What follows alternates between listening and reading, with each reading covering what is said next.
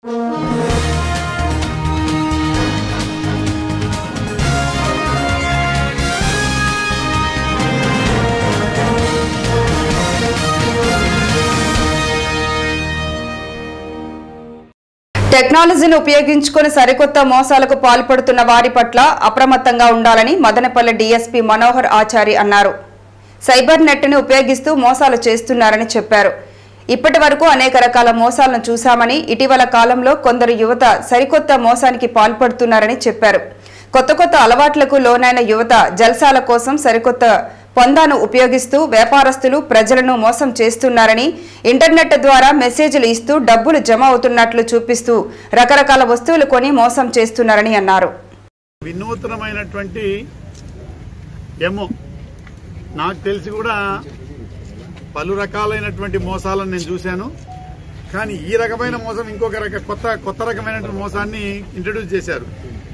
So మోసం మోసాలు పలు రకాలు. అది ఏదైనా ఏ రకమైన ఉన్న రకం ఉండొచ్చు. కానీ ఇది మనం మీరు కూడా చాలా రకాలుగా చాలా సార్లు కానీ ఇది ఈసారి కొత్తగా వింటున్నాం.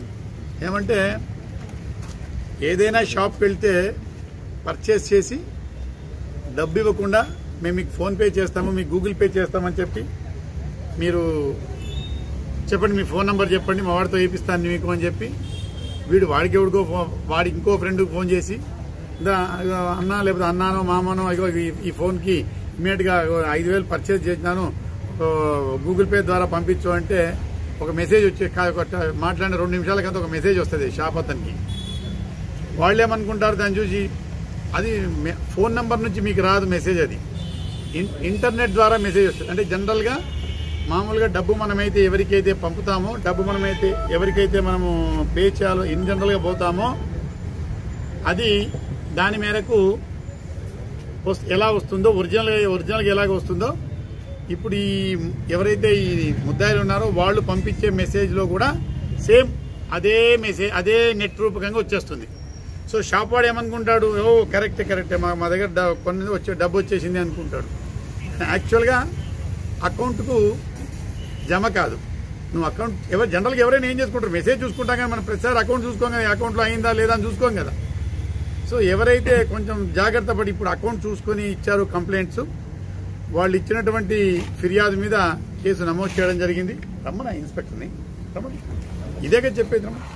సో వాళ్ళు ఇచ్చినటువంటి ఫిర్యాదు మీద కేసు నమోదు చేయడం జరిగింది. ఎవరు చేశారు ఏం సంగతి ఏంటి దాని మీద విచారణ జరిగింది. దానిలో కొంతమంది ముద్దాయిలను కూడా అరెస్ట్ చేశాం. అందరూ ముద్దాయిలు కూడా యంగ్ చాప్స్. అందరూ యుక్త వయస్కు యుక్త వయస్కులు. Hardly twenty twenty two twenty three twenty four ఉండేటువంటి వయస్కులు. అది అందరూ కూడా లోకల్సే. వీళ్ళ మోడల్స్ ఆపరండి ఈ విధంగా ఉంది. ఒక డింగ్ డాంగ్ అనే ఒక యాప్ ఉంది.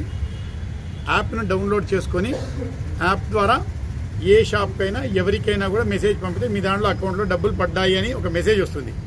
పడ్డాయా లేదంటే మీరు వెరిఫై చేస్తే తప్ప మీకు తెలియదు పడ్డాయా లేదా అనేది. కాబట్టి దా ఆ ద్వారా ఆ పలు షాప్స్లో వీళ్ళు ఈ విధంగా మెసేజెస్ పంపి చాలా జల్సాలు చేశారు. చాలా సరుకులు కొన్నారు. అవన్నీ జరిగాయి. కాబట్టి షాప్స్ వాళ్ళు ఇచ్చినటువంటి దాని మీద కేసు కట్టడం జరిగింది. ముద్దాయిలను అరెస్ట్ చేయడం జరిగింది. నిన్న ముద్దాయిలను అరెస్ట్ చేయడం జరిగింది. వంటవంశీయ గారి ఆధ్వర్యంలో. అయితే దీని మీద పత్రికల వాళ్ళు కానీ మిగతా ఎలక్ట్రానిక్ మీడియా కానీ దీని మీద చాలా వైడ్ పబ్లిసిటీ ఇవ్వాల్సిన అవసరం ఎంతైనా ఉంది. మోసాలు ఎందుకంటే మోసపోయేవాడు ఎలాగో మోసపోతుంటారు కానీ మోస మోసాలు చేసేటువంటి విధానాలు రోజు రోజుకు కొత్త కొత్త సిస్టమ్స్ వస్తున్నాయి. సో ఆ కొత్త సిస్టంలో భాగమే ఇప్పుడు ఈ ఈ సిస్టమ్. కాబట్టి షాప్ కీపర్స్కి కానీ లేకపోతే మిగతా వాళ్ళందరికీ కూడా మీరు బాగా ఎన్లైట్ చేయాలి. పత్రికల్లో కూడా కొంచెం మంచి కవరేజ్ చేయాలి. ఎందుకంటే జనాలు తెలుసుకోవాలి. ఓ ఇటువంటి మోసాలు కూడా వస్తున్నాయా? అంటే రేపు ఎవరైనా వచ్చినారనుకోండి వాడు ఏమంటాడు? మేము మీకు గూగుల్ పే చేస్తాం. నో గూగుల్ పే నువ్వు డబ్బు కట్టి సామాన్ తీసుకో. నీ గూగుల్ పే ఉంటే నువ్వు ఇంకో దగ్గర చేసుకో నాకు వద్దు. లేదు పో ఏటీఎం దగ్గర పో క్యాష్ డ్రా చేసుకో డబ్బులు కట్టు. అంటారు. ఎందుకంటే ఎవరు కూడా మోసపోకూడదు. సో ఆ ఉద్దేశంతో దీన్ని వైడ్ పబ్లిసిటీ ఇవ్వమని రిక్వెస్ట్ చేస్తున్నాం మీ అందరినీ కూడా. అమ్మాయిని పట్టుకుంటాం. అమ్మాయిని కూడా పట్టుకుంటాం. అమ్మాయి కూడా ఈ ప్రాంతం చెందిన అమ్మాయి అంటున్నారు. పట్టుకుంటాం. ఎందుకంటే ఇప్పుడు కొంచెం కరోనా ఉంది కాబట్టి ఆమె ఇక్కడ ఈ ప్రాంతంలో లేదు. ప్రస్తుతం ఎక్కడో బయట ఉంది కాబట్టి పర్మిషన్ తీసుకుని అక్కడికి వెళ్ళి పట్టుకుంటాం మొత్తం ఎంత ఉంటుంది సార్ ఇప్పుడు వాళ్ళ దగ్గర రిక్వైర్మెంట్ ఒక్కొక్కటి లక్ష లక్షన్నర దాదాపు ఒక్కొక్కరు ఒక లక్ష ఒకటిన్నర లక్ష చొప్పున ఆల్మోస్ట్ చేశారు. తొమ్మిది వందల దాదాపు తొమ్మిది తొమ్మిది పది లక్షల వరకు ఉంటుంది మోసం. అది ఆరు మంది బాధితులు ట్రేస్ అయ్యారు. వాళ్ళ స్టేట్మెంట్స్ తీసుకున్నాం. తొమ్మిది మంది ముద్దాయిలు కలిసి అంటే పది మంది ముద్దాయిలు కలిసి ఇక మదనపల్లి ప్రాంతానికి చెందిన ఆరు మంది వర్తక వ్యాపారస్తులను వ్యాపారస్తుల్ని ఈ సరుకులు తీసుకొని ఆ సరుకుల్లో ఏమంటే డబ్బు చెల్లించకుండా మామూలుగా మనం ఏం చేస్తామంటే డబ్బు చెల్లించకుండా అయ్యా మీకు కార్డు ఉంది మామూలుగా మనం మనం ఏటీఎం కార్డు పేటీఎం కార్డు తీసుకుపోయి గోపుతాం. సో దాంట్లో కట్ అవుతుంది. ఇది అలా కాదు. మీకు గూగుల్ పే చేస్తామని చెప్తే ఈ పిల్లోడు ఏం చేస్తాడంటే ఇప్పుడే మా ఫ్రెండ్కి చెప్తాను ఫ్రెండ్కి ఫోన్ చేయడం ఫ్రెండ్ అక్కడ నుంచి ఎంత ఎంత అయింది డబ్బు అని కనుక్కొని ఆ డబ్బుకు సంబంధించినటువంటి మెసేజ్ రెడీ చేయడం నెట్ ద్వారా ఆ మెసేజ్ను ఆ పర్టికులర్ ఓనర్కి పంపించడం ఆ ఓనర్ ఆ మెసేజ్ చూసుకొని ఈ వీడి ఇక్కడ ఉండేవాడు మేము పంపించాలంటే మెసేజ్ మీరు చూసుకున్నారా? పంపించారు పంపించారా. వచ్చింది వచ్చింది అంటారు. ఆడికి "ఆ, ఓకే అని వీళ్ళు ఆ సరుకులు తీసుకొని వెళ్ళిపోతున్నారు షూస్ కానీ గుడ్డలు కానీ మిగతా ఇవన్నీ కూడా చేస్తారు సార్ ఈ నష్టపోయినటువంటి వాళ్ళకి మీరు ఏం మెసేజ్ ఇస్తారు సార్ ఈ వ్యాపారస్తులకి? అంటే ఏదైతే నెట్ దినదినాభివృద్ధి సాంకేతికంగా దినదినాభివృద్ధి చెందుతుందో అదే అదే సాంకేతికంగా నష్టం కూడా జరుగుతూ ఉంది.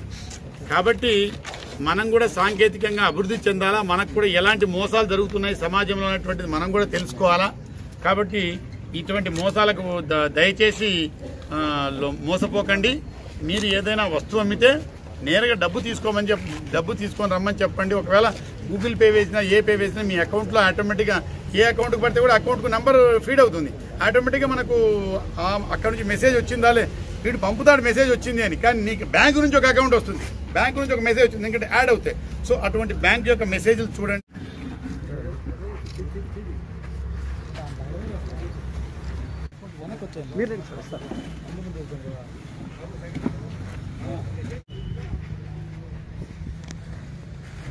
సార్ ఒక నిమిషం సార్ చిన్న నాకు